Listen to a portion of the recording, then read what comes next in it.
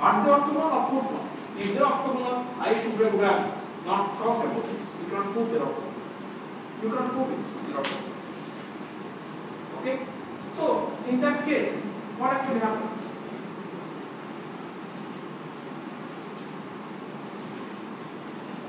In that case, what actually happens? They're not. So, what they could be? They, what's your guess? So, my guess is they are linear independent. So, let's look at this eigenvectors. Are they linear independent? So, next question, I'm talking about these three eigenvectors. Remember that we are talking about non-symmetric matrix. we are talking about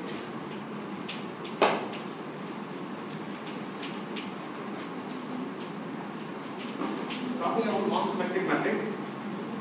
The statement I am trying to prove that eigenvectors corresponding to distinct eigenvalues, eigenvectors corresponding to distinct eigenvalues are linearly independent.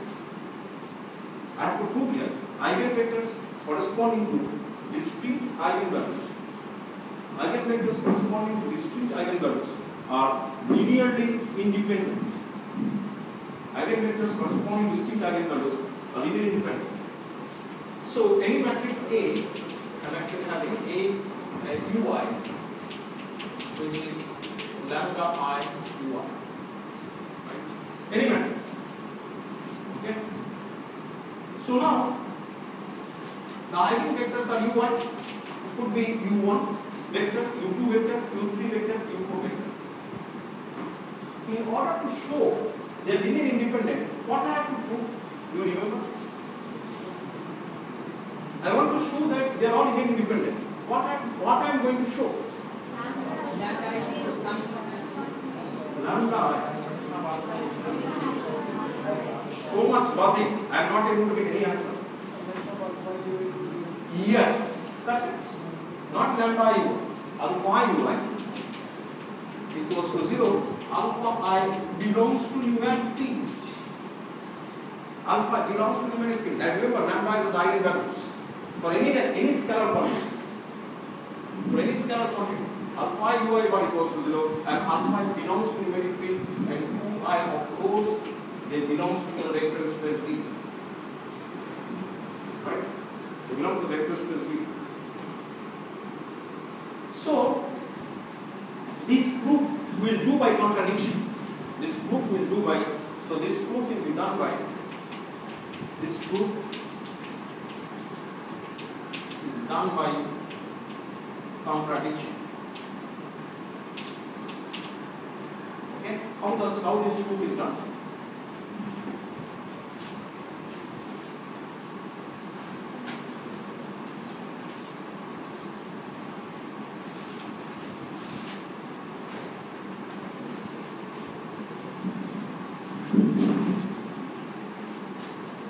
What I'm saying that I'm assuming that some eigenvectors are linear independent, some are not. Okay? And then I will prove that all eigenvectors are dependent. Right? So some eigenvectors are dependent. So I will say let R be the maximum number of vectors in the set which are independent in the set which are independent. Okay?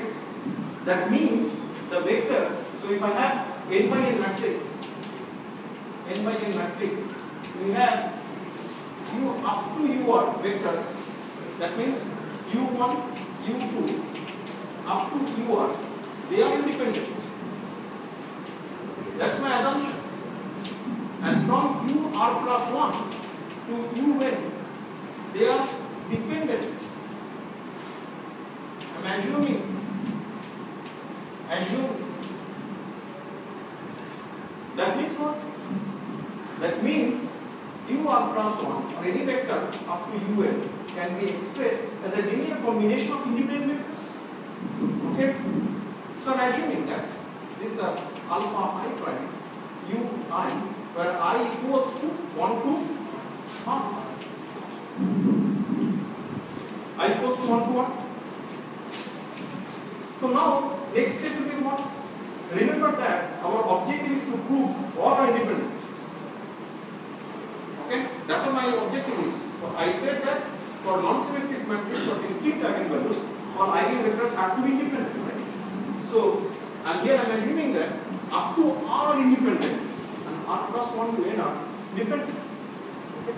r plus 1 to n are dependent. Right? So in that case, what you do multiply both sides by u r plus a u r plus 1 i equals to 1 to r alpha i prime a u i bar. u r plus r plus 1 is an eigenvector. Corresponding eigenvalue is corresponding eigenvalue is lambda r plus 1. So what should I write? Lambda r plus 1 u 1. Am I correct? Am I correct? And here, what should I write? Similarly, I deliberately multiply here because it's scalar quantity. So it is lambda ui. i equals to 1 to what? Alpha i, lambda i, u y. So this is my equation number A. This is my equation number B.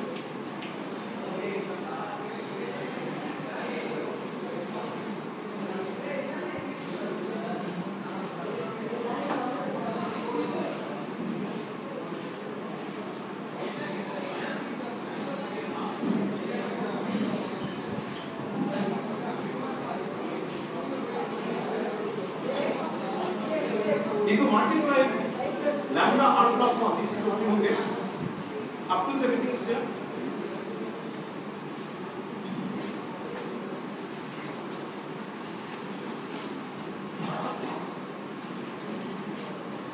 So multiply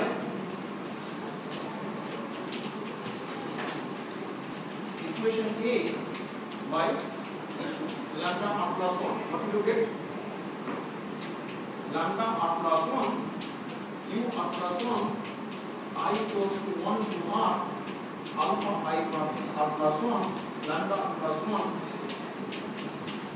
ui equation number C now you compare equation B and C what do you see you compare equation B and C both left hand side and right hand side is uh, both the left hand side of the equation B and C are same. Only right hand side are different. Right?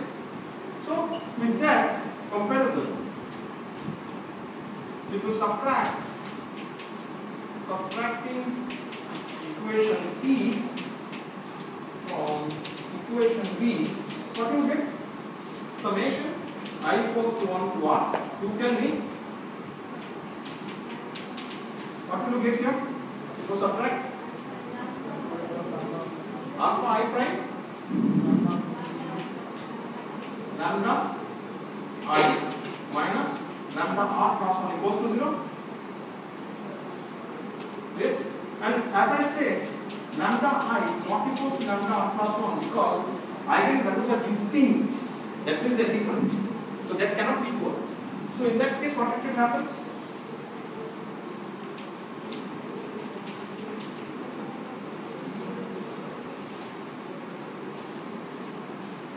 sorry, alpha has to be 0, ui cannot be 0. Alpha, I have, alpha i prime has to be 0. Alpha i prime has to be 0. Alpha i prime has to be 0. Alpha i prime has, has is 0, you come back to equation. What actually happens?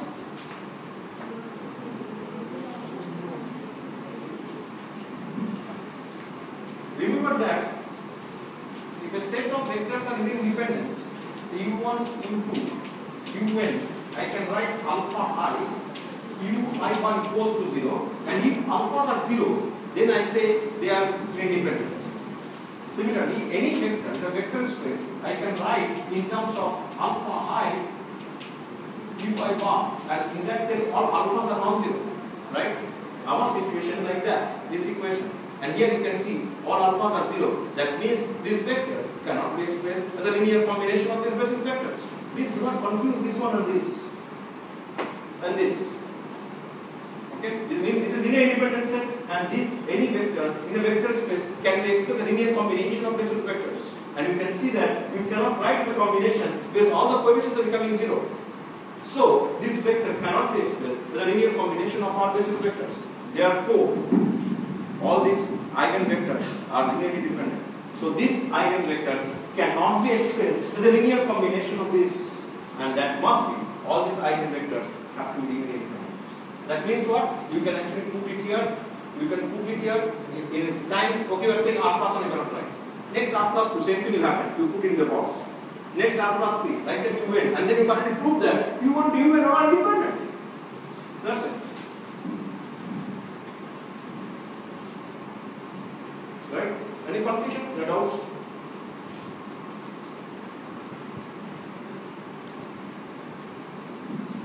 So, uh, we have seen that we have seen two interesting phenomena. For the non-symmetric matrix, the eigenvectors are okay. Eigenvectors are linearly independent, and those eigenvectors are not orthogonal to each other. But orthogonality criteria has been found with the complex conjugate matrices eigenvectors, and for those eigenvectors in the complex conjugate system, eigenvector in the complex conjugate system will be the will be orthogonal to the corresponding real matrix eigenvector. So we have seen all the interesting uh, issues of eigenvectors not only for the symmetric matrix, non-symmetric matrix as well.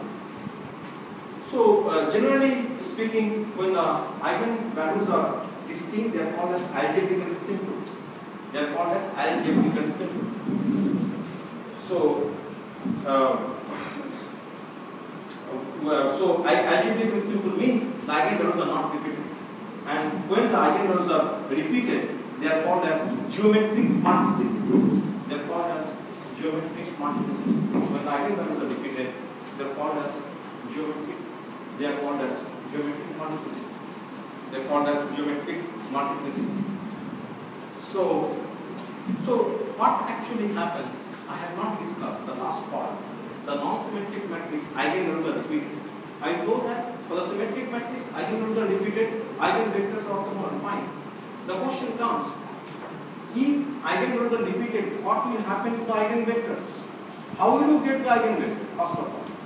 In symmetric matrix, if you recall, today's today very beginning I told that the symmetric matrix, the eigenvalues are 2 and 2, your dimension of null space should be 2. If the eigenvalues are 2, 2, 2, dimension of null space has to be 3. Is that the case for the non-symmetric matrix? Let's talk about that.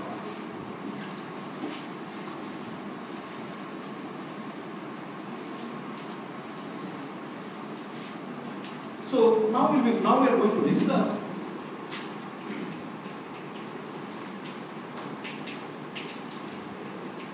repeated eigenvalues in non-symmetric matrix and these are called as geometric multiplicity.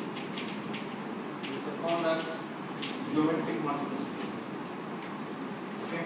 So if there are different eigenvalues, they are called as geometric multiplicity. What I am saying that this matrix is non-symmetric. If I get say these eigenvalues, they are these 2 and 3 are distinct but 2 are repeated. If I get my dimension of null space 2, I can say I can get distinct eigen vectors. Mostly in non-symmetric matrix, it is not the case. We will be still getting one dimension null space. That means you are getting only one eigenvector. Say U1, you are getting U3. That means, are you saying U1 and U2 will be same? Of course not. If the number of eigenvectors is equal to the order of the matrix, if there is a 5 by 5 matrix, sh I should be getting 5 distinct eigenvectors. No matter how many are repeated. So, in that case, for non-symmetric matrix, you are having two repeats, you are getting dimension of null space 1. That means you are getting only one eigenvector. Right? What is what is the example problem? That is symmetric matrix. then how to get this this this eigenvector? So that's the open question.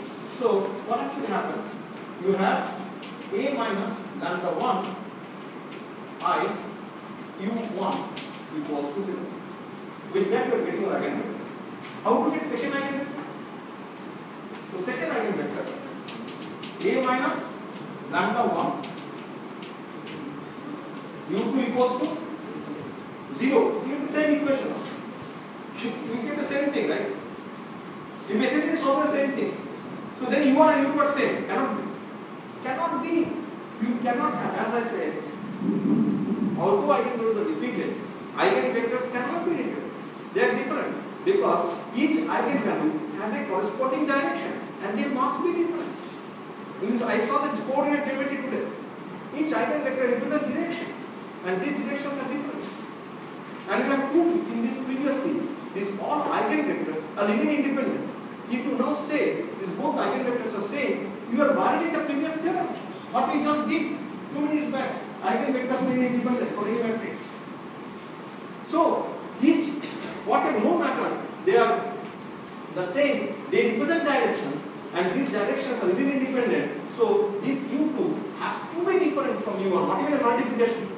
Multiplication in the same direction. You say, okay, I put alpha 2, you get another eigenvector. It's not correct. Because it will be the same direction. It the same direction. I want an independent direction. How to get it? So the answer is so this is the kind of this is the way. So what I am essentially doing, I am trying to do this kind of stuff. A minus lambda square is equal to. So I am saying determinant of a minus lambda equal to a minus lambda equal to zero. I am saying a minus lambda is square. So that is the way we can actually uh, talk about the uh, and in that case, it is possible to prove that a minus lambda 1 q equal to 2 equals to. Uh, so what we do here, you try to multiply here.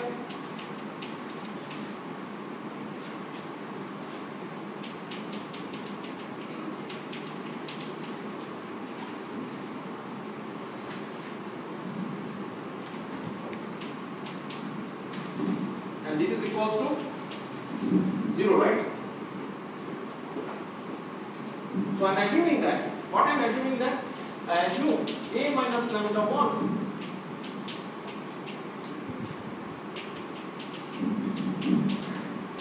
and, and I'm saying that this satisfies this one.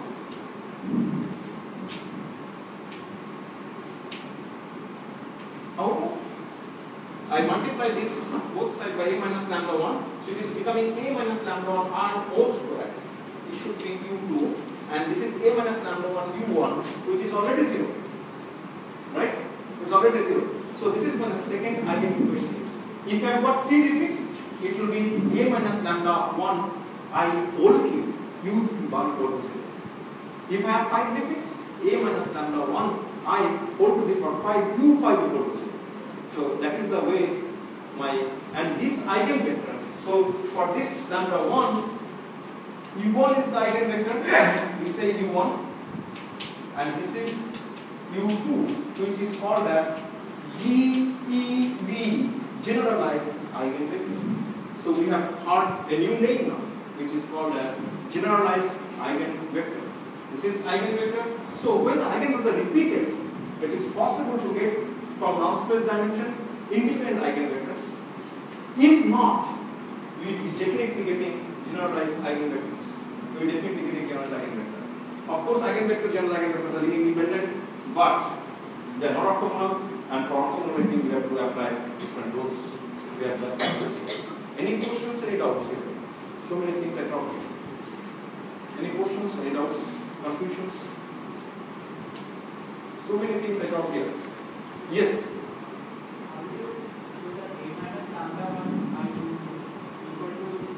Okay. What I'm saying that is a rule.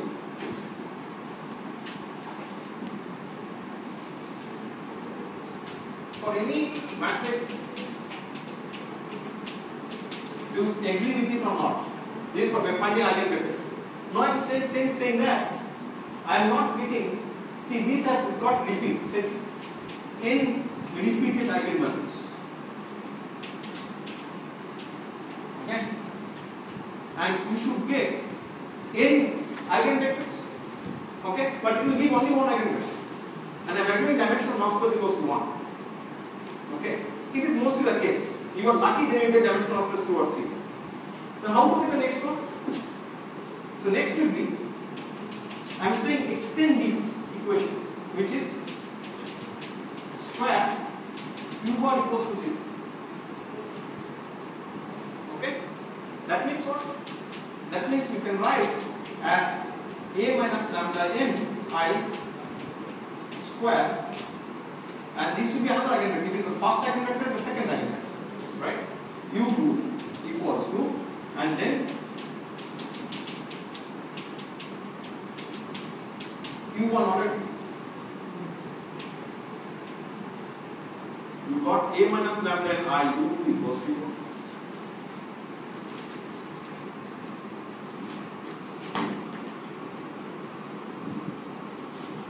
So did you find that what is generalized eigenvector? Concept is clear. So this u2 is called the generalized eigenvector which are obtained by this way. Yeah. Is this, is this one when the eigenvalue values are related, is this valid only for symmetric matrix? No, I didn't say symmetric. I am doing non-symmetric matrix. Symmetric matrix episode is over. We have gone. We have we have gone uh, far from symmetric matrix. For symmetric matrix, there is no question of uh, generalized eigenvectors. What we said there, the eigenvectors are orthogonal. We found that. And there is no question of generalized eigenvector because dimension of like that. If there are three repeats, dimension of be three, and we will be getting three basis vectors, and all those bases are orthogonal. That's why I say null space bases in general are not orthogonal. But for the symmetric matrix, null space bases are orthogonal, and that will give the guarantee we will be getting orthogonal eigenvectors to the null space basis. There is no question of geometry, the generalized eigenvector. We have not discussed that. Why is there?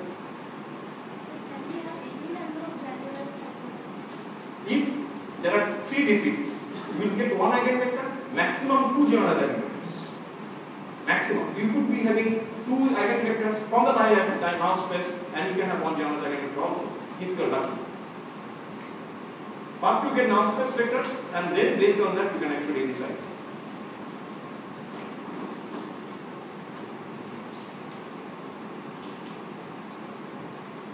Any questions? Any doubts? Any questions? No, no, no doubts. Okay. Now we are coming to the point how to solve ax equals to b without solving. That's the open question still.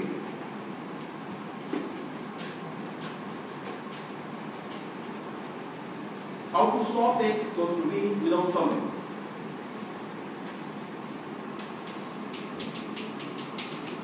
First is A is symmetric. First A is symmetric.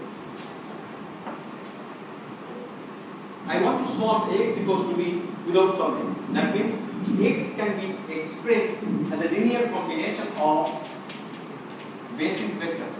And I am saying I want to take as eigenvector as basis. As I said, eigenvectors are good basis vectors. You will establish how eigenvectors are basis vectors. Okay? So these are these are my eigenvectors and for symmetric matrix all eigenvectors are orthogonal. We have done it today. Right? So how to approach? We can write. So what we have to find out? The solution is expressed in terms of eigenvectors and ui's are determined by a MATLAB or by hand calculation. In MATLAB, how you can do? You can type EIG of the matrix. Give matrix, give EIG, it will give eigenvalues. Okay? And yeah, the eigenvector command is EIG BCA. So EIG A in MATLAB will give eigenvector and EIG is uh, uh, uh, this is uh, we can do in MATLAB or Mathematica try it out I don't want to give the comments I have all the things comments but I won't give it to you because if I give you won't try it out so mathematical without calculating you can get eigenvectors but I insist you to find eigenvector by yourself So bottom line is this known. Eigenvectors are known. If I give a matrix, you can find eigenvectors. Right? These are known. Only unknown is alpha. If I find alpha job is done. You have got the solution. So you don't have to do all solution. Only thing you need to find eigenvector. Eigenvectors, eigenvectors. If you find eigenvectors, those eigenvectors will be giving you solution. How? So we write this as summation i equals to 1 to m alpha i dy equals to b. You can write this as summation i equals to 1 to n alpha i a dy equals to b.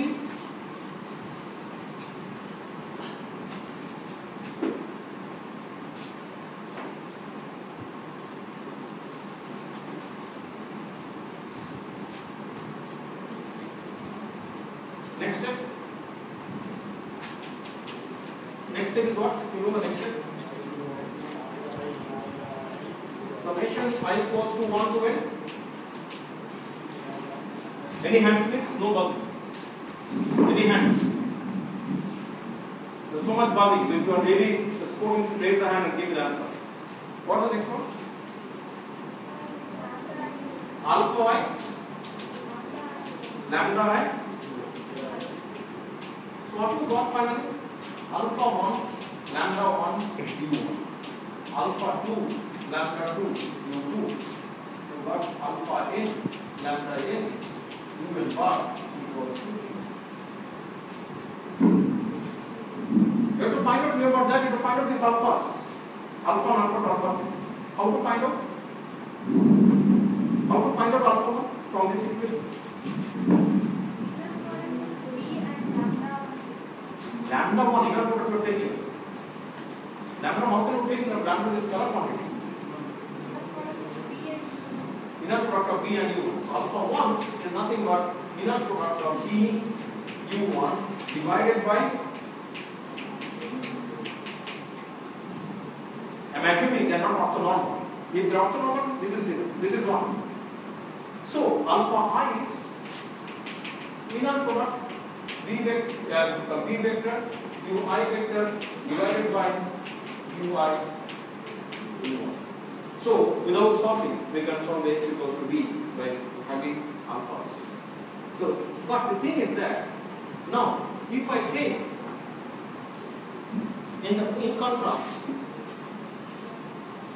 if I have now these basis vectors, e1 say 1 0 0 E2 say 0, 1, 0 and E10 say 0, 0, 1. So now we can justify why these basis vectors are not the good basis vectors to solve this problem. We can also write this as summation alpha beta i ei bar. I am comparing the two bases. This is the eigenvector basis. This is my original basis called geometric basis. Okay? This is my eigenvector basis.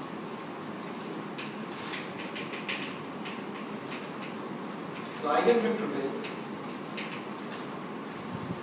And this is the geometric basis. This is my geometric basis. Right? This is the geometric basis.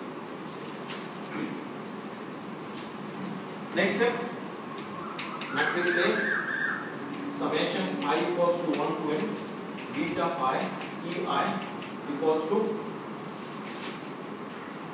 b. Next step, summation i equals to 1 to n, beta i, a ei equals to b. What did you get here? Can you get anything out of this?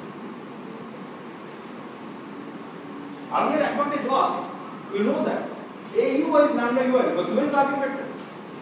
So in that, we can remove the matrix. If we cannot remove the matrix, problem. Because I told that matrix will act, matrix will act as lens or mirror if the corresponding vectors are eigenvectors. If the vector, not eigenvector, matrix cannot act as identifying of the lens or the mirror. So here matrix cannot act. So AEI is not approximate anything. So this process will not work for solving the system. So geometric basis vectors, although they are easy to visualize, they are the coordinate axes, they are not the root basis vectors. Eigenvectors or best basis basis basis vectors. So now we can understand what are the applications of eigenvectors. If somebody asks in an interview or something, why we need eigenvectors? Eigenvectors are the root basis vectors and uh, they are always linearly dependent and uh, for solving a large system, if you don't want to solve without solving, we can use the eigenvectors as basis, basis vectors and with that we can get the solution even without solving. So if somebody give you the eigenvalues and eigenvectors, that's it. So in MATLAB you can easily get eigen, eigenvalues and you can actually get eigenvectors. And once you get eigenvalues, eigenvectors, you are on the business, you have the, you have the solution, you don't have to go for the Gaussian elimination and everything and enter the this. Okay? Can we apply the same thing for if A is non-symmetric matrix? If A is non-symmetric, how to get the solution without solving? If A is non-symmetric, how to get solution without solving? So now the next case is A is non-symmetric.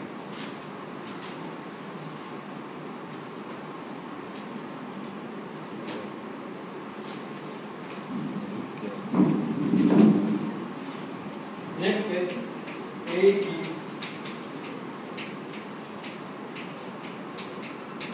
non-symmetric. A is non-symmetric.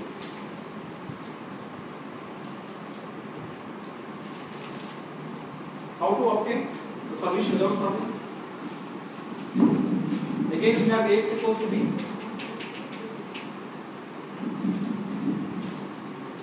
And we know that for any matrix, eigenvectors are linearly independent, right? So, we can write the eigenvectors.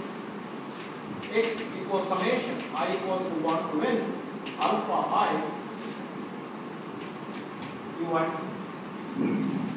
Remember that they are not orthogonal or non-symmetric matrix. So you have to use the proper orthogonality criteria. So how to attack this problem? How to attack? What's the next step? You have to the steps here. I will not do it. You have to the steps.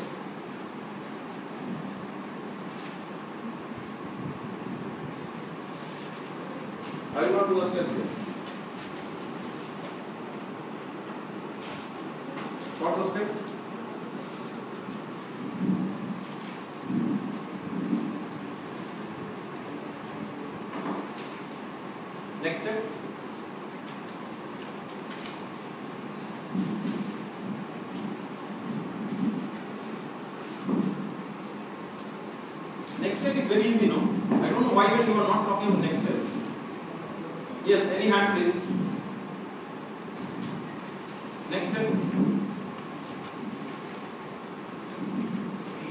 Yes, yes, sure.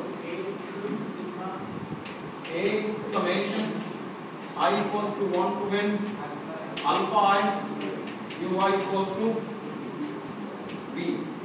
Next. Next is also very clear, right?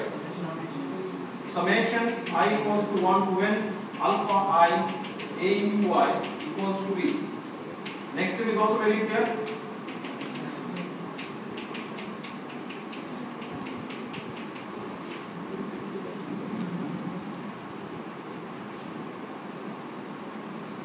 Get alphas? How do you get alphas? Yes. Dot product. Inner, not dot product. You should say inner product. How do you take Vj inner product here? You are saying so many inner product. You just take, don't say B and Vj. You are taking inner product both sides. Respect to Vj bar, remember that is U1 bar, U2 bar, Un bar. They are orthogonal to V1 bar, V2 bar, and Vn bar. Okay? So orthogonality criteria will not be happening here, but it will happen across. Will happen across. So if I take inner product with respect to Vj bar, okay? So what will actually happen? What will be my alpha i in that case? Who can tell me the answer? So here I have just missed out one small thing here should be lambda i here. Please correct it out. Okay. So what will be the alpha here? Alpha will be Yes, last part one bench who actually responded to that. Alpha will be what?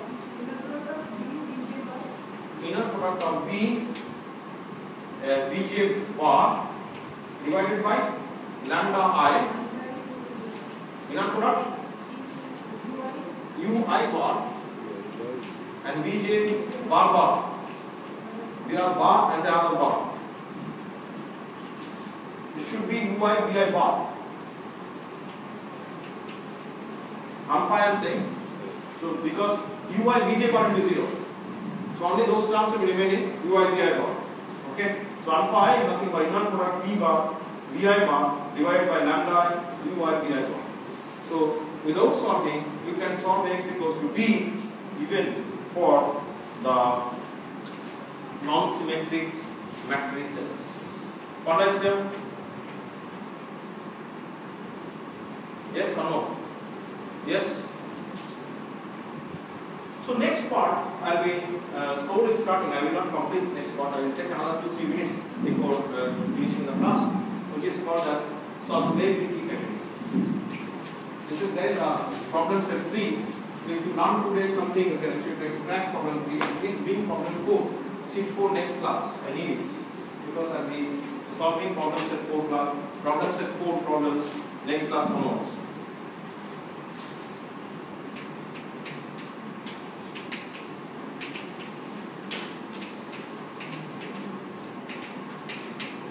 Solvability criteria. We have already done solvability criteria for x equals to b. We have actually shown that if x equals to b is there, and if A is singular matrix, you won't get solution unless or until you have the rank of A is rank of A augmented B. We have already done that part. So here we are going to uh, address uh, uh, the, the, the issues like whether solution exists, the solution is unique, or uh, singularity occurs. So uh, we'll be talking about something called as Fredholm alternative theory.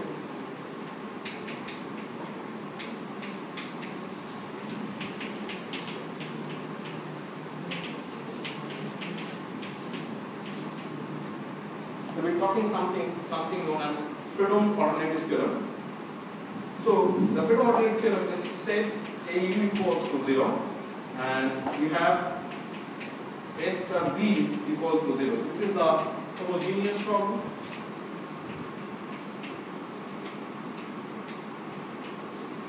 And this is known as homogeneous.